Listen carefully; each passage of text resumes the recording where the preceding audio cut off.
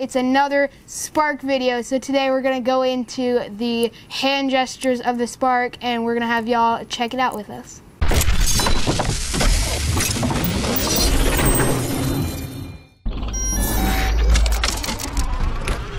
So one of the big differentiators of the DJI Spark from the Mavic or the Phantom is the fact that you don't have to fly it with a remote or a phone. You can just fly it based on hand gestures. So we're gonna take it out.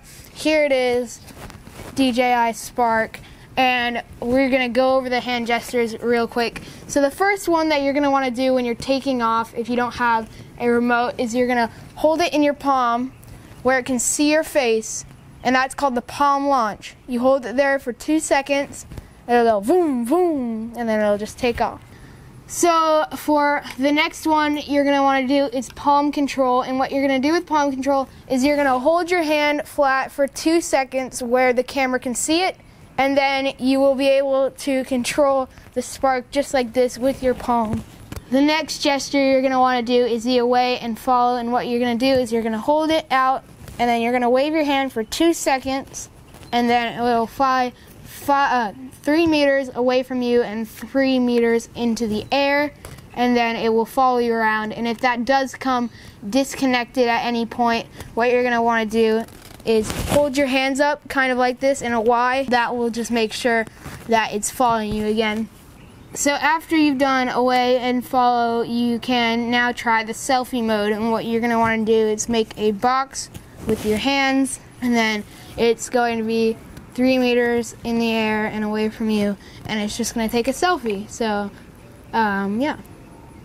The next one is the beckon, and what you're gonna wanna do with the beckon is you're gonna hold your hands up in a Y, and then um, while it's following you, you're gonna hold your hands up with a Y, and it will just come back from those three meters and be right there.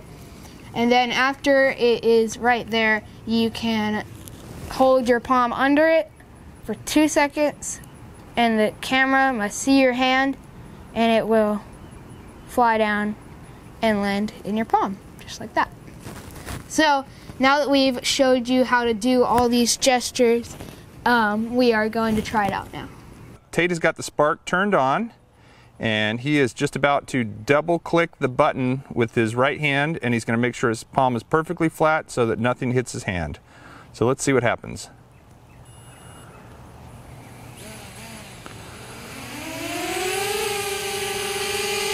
And boom, there it is. That was the palm launch. So now we're gonna do palm control where he holds his hand up for two seconds. And now he is controlling it. Now he can make it go up higher. He it come back down. Now walk forward and make it go backwards. Now walk backwards and make it come towards you.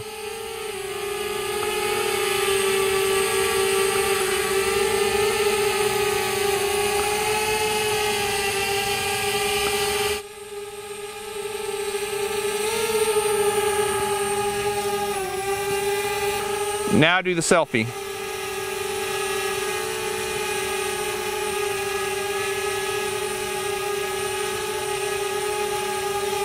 Cool, do another one. And this time, when it's blinking, uh, when it's blinking, it's, um, it's actually getting ready to take the picture. So hold that in front of your face.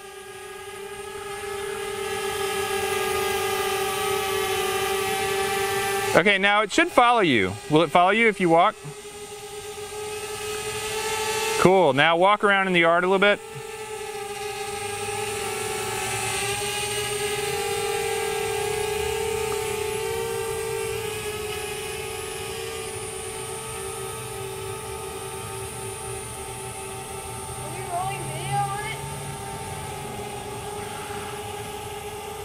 I don't know how to roll video on it without the app.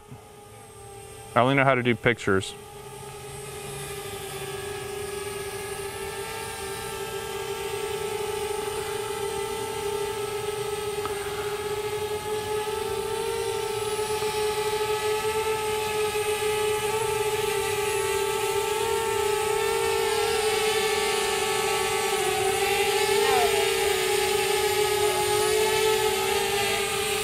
Now land it.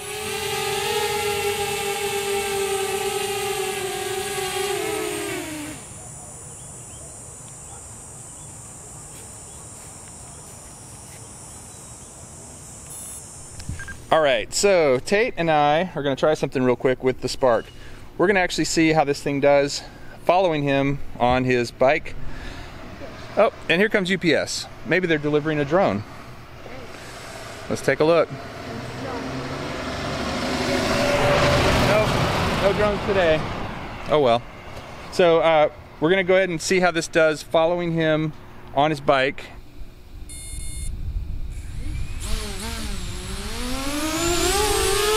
Okay, there it is. I'm gonna just move it, move it over here. And then I'm gonna tell it to go up and away.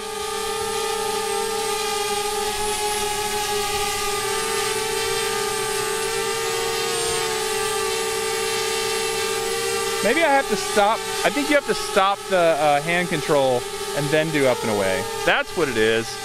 You can't do up and away while you have hand control going on. All right, and now Tate is going to, uh, Tate is gonna uh, take over. I'm gonna step out of the shot. All right, now just, yeah, try to, don't go under that tree too close.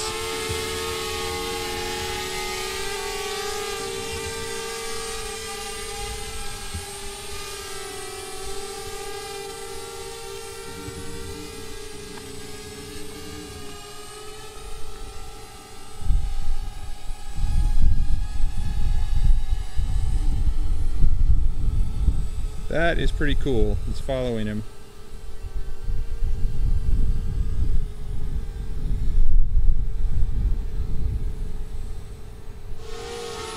So the spark just went all the way down the street following him.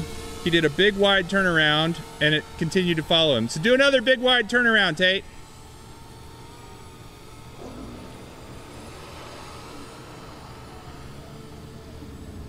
There it goes again.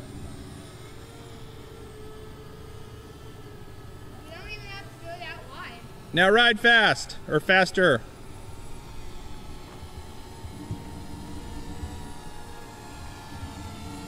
You can walk pretty low.